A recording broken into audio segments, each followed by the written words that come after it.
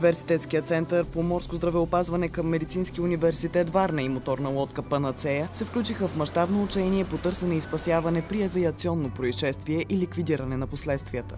Създадена е симулационна ситуация с паднал самолет с множество жертви и пострадали. Части от въздухоплавателното средство има във водата и на сушата, а целта на учението е стиковане на взаимодействието между структурите на единната спасителна система.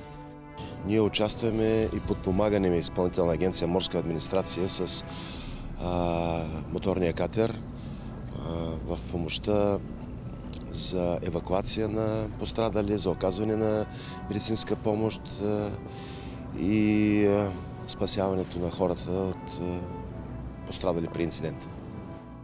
Панарчея, слуша. Подходете към място на инцидента. Разбрах.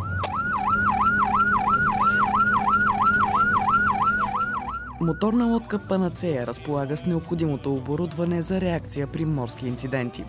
Нашата палуба е пригодена за такива случаи. Ниска е отзад специално сложена палуба, откъдето лесно можем да извадим човек от водата.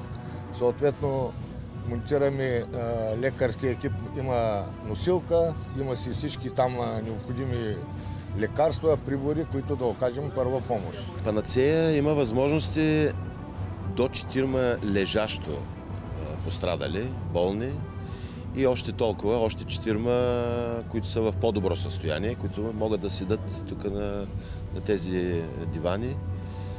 А, общо 8 души можем да евакуираме.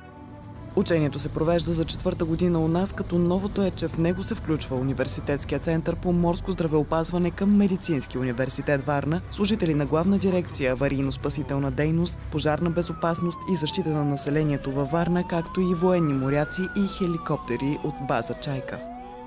Това са възможности на въртолета. Може да я спася, тъй като мястото в кокпит е ограничено. Двама пилоти един спасител и може да, да качат на борда и един пострадал. В зависимост от състоянието му, командира на въртолета може да прецени дали да спусне носилка или да спасителят да превържи към себе си пострадалия. И с помощта на една балка спускат въже, спасител и след това го вдигат на борда и този вертолет има възможности да касне на вертолетната площадка на болница Света Марина.